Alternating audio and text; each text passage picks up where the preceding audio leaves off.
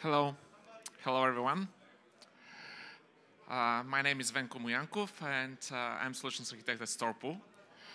In my daily work, uh, I spend a lot of time uh, listening to our customers and prospects. And one of the things that they tend to go on about is uh, how the traditional storage area network model, uh, even when built with a, a, really good storage arrays, just doesn't work well for them at, at scale.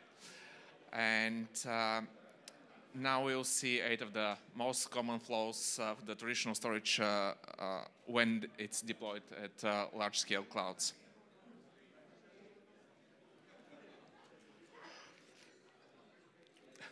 Enterprise environments are usually fairly static. Uh, they uh, are with less frequent changes. Cloud environments, on the other hand, are much more dynamic uh, during the life cycle of a typical storage system that is three to five years, they can scale significantly. Very often a cloud uh, will need to start uh, uh with a very small capacity, relatively small capacity that soon will be upgraded significantly.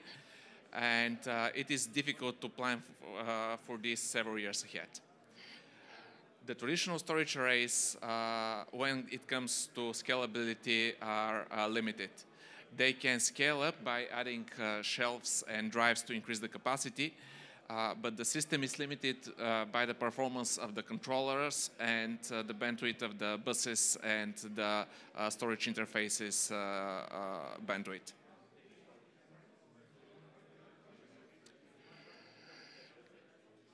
Ethernet is the primary protocol in data centers, and modern Internet network, networks are optimized for this use case. Uh, on the other hand, uh, fiber channel, uh, sorry, SAN architecture is built on fiber channel network. And this requires that you need to build a parallel uh, storage network uh, to your existing uh, Ethernet network. And large SANs can be very expensive and difficult to build and to operate.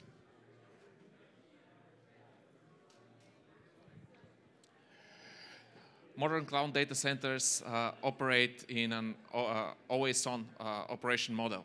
Uh, without uh, maintenance windows, applications uh, work 24 by 7. And building an infrastructure for always-on operation is not just about fault tolerance, it's about everything you need to provide reliability, high availability, and data integrity. It includes such things like uh, in-service uh, software upgrades, in-service hardware upgrades, uh, online reconfiguration. These are all things that you just can't get with the most ordinary SAN models.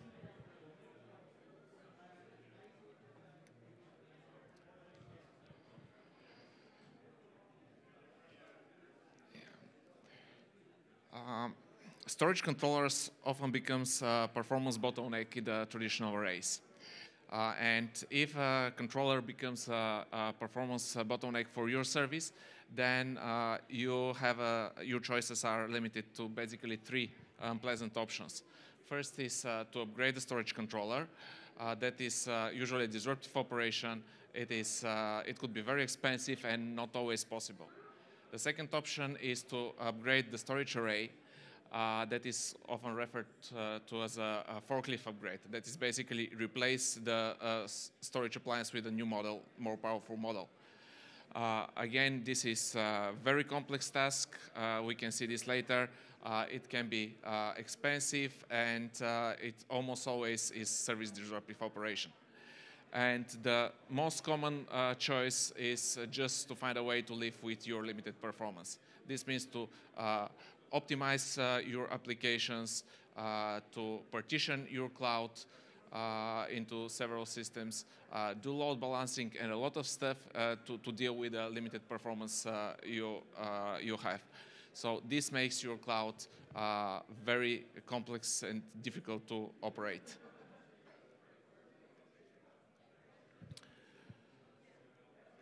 Large scale or multi, uh, multi-rack availability is something that is difficult to manage with a traditional arrays. Uh, for example, uh, taking several racks down to address a power issue uh, would require a major project with a synchronous replication with a, uh, with a SAN solution. and cloud provi providers can't afford to have their customers down even when the outage is planned.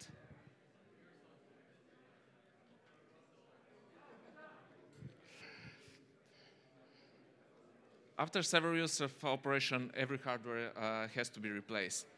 Replacing uh, compute nodes is a trivial task uh, because compute nodes are interchangeable. Replacing the uh, storage system, on the other hand, can be a cumbersome operation uh, that involves uh, time-consuming data migration from one system to another. And if the application use integrated features uh, of the storage system like uh, uh, snapshots and remote replication, it gets even more difficult. In clouds, typically storage systems are tightly integrated with the cloud management uh, platform.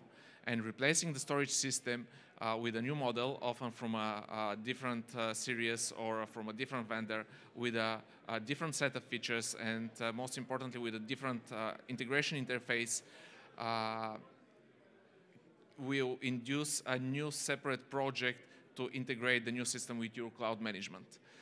Uh, what was initially a simple task of hardware refresh cycle now becomes a complex uh, project that uh, involves building an integration, data migration, and possibly services reconfiguration.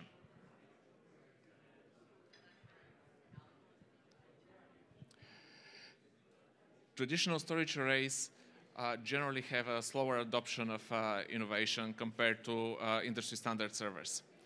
Uh, whether it's 100 gig Ethernet or larger NVMe drives or faster drives or a communication protocol like, uh, let's say, NVMe TCP, uh, all these are available in the specialized arrays uh, years after uh, these technologies are available in the general purpose servers. The result of this is that the storage arrays are with smaller capacity, less storage density, they have uh, uh, they consume more power, uh, are more expensive to operate and maintain and upgrade. they cannot provide the features that you need, and the end result is that they make your cloud services not competitive.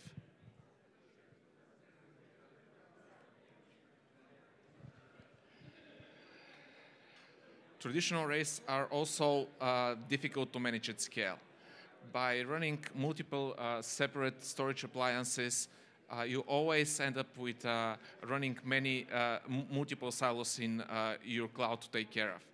And instead of focusing on uh, improving your services, cloud and storage administrators are busy more and more time dealing with issues that these individual silos create, like capacity management, uh, load balancing, dealing with uh, hotspots, uh, optimizing the, the traffic, inefficient utilization of available resources.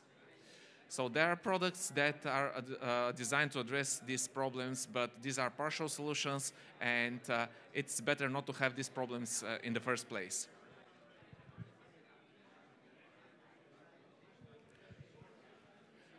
All these flaws uh, comes from the fact that uh, the SAN architecture was designed for enterprise environment. It fits very well there, but clouds are very different from enterprise environment. They have a different requirement and uh, they need a, a, new different type of storage, storage that is designed from the, from the ground up for, for this specific uh, use case and not retrofitted from uh, another use case.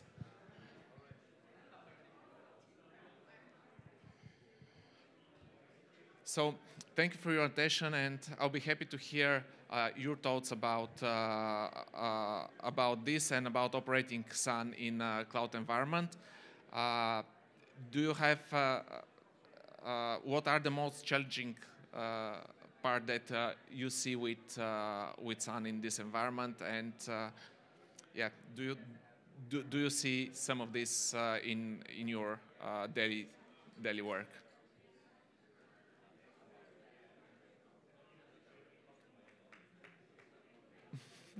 Thank you.